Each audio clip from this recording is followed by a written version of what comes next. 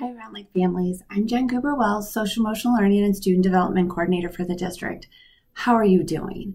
How are you doing on those self care resolutions? So, I thought this week we could do one of our Calm Classroom activities that's called Smile and Relax. Because again, I want you to try to make sure that you're doing something for as short as three seconds, but something that puts a smile on your face every day. So, here we go. This practice is called Smile and Relax. Find a comfortable position with your back straight.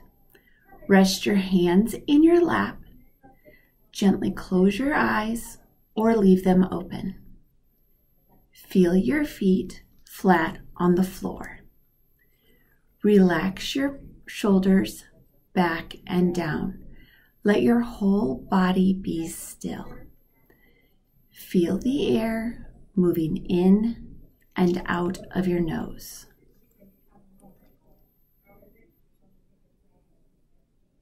Think of something that seems peaceful to you. Notice how that feels.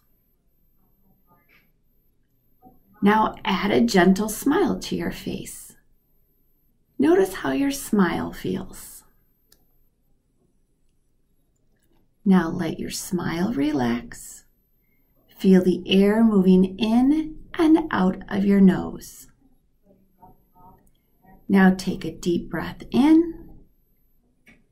Breathe out slowly. Notice how you feel.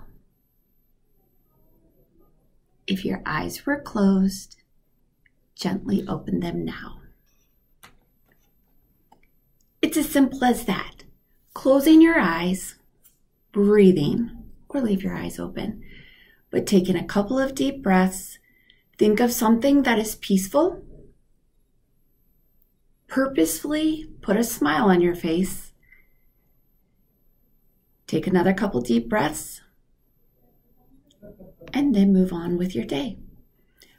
Have a great day. I will see you next week.